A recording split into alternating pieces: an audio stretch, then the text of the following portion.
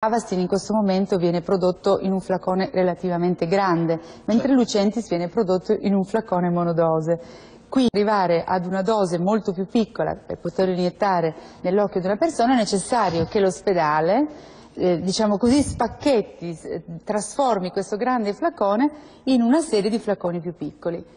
Ciò deve avvenire con determinate caratteristiche. Esattamente, e, come dicevamo prima Lucentis proprio, eh, viene commercializzato in un flacone monodose eh,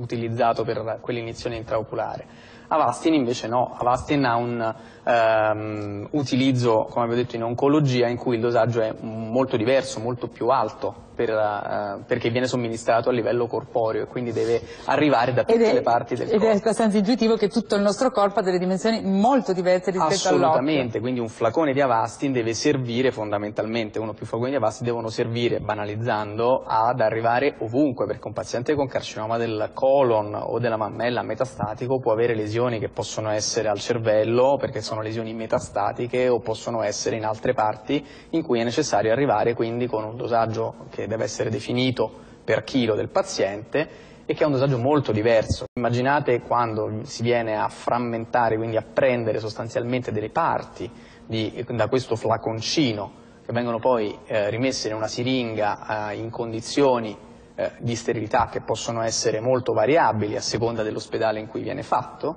Eh, o nella clinica privata. O in clinica privata, quindi con condizioni di sterilità talvolta anche molto discutibili, eh, che possono ovviamente mettere innanzitutto ovviamente a rischio il quantitativo, quindi la dose che viene eh, utilizzata, quindi una dose che può essere differente a seconda di quanto ne viene prelevato nel momento in cui viene preparato in farmacia. Seconda cosa ovviamente con un rischio di contaminazione, come diceva giustamente lei, per la manipolazione, perché ci sono varie evidenze che hanno dimostrato comunque come il rischio di infezione da vari batteri, da vari agenti, possano esporre, eh, ovviamente queste contaminazioni da germi nel passaggio possano portare a un aumento delle infezioni a livello dell'occhio, con delle infezioni che vengono chiamate endoftalmiti, quindi delle infezioni che sono particolarmente eh, importanti comunque invalidanti anche per persone che ovviamente già hanno magari una problematica seria come la degenerazione maculare e qui è bene ovviamente non cercare di esporre, esporre il paziente.